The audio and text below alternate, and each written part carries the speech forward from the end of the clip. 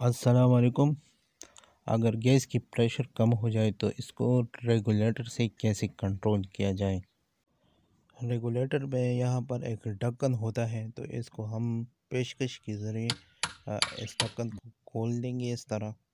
और फिर स्क्रू को अगर आप टाइट करेंगे तो गैस की प्रेशर ज़्यादा होगी। अगर आप इसको वापस अनटाइट करेंगे तो गैस की प्रेशर कम होगी। तो यही इसका तरीक़ा है।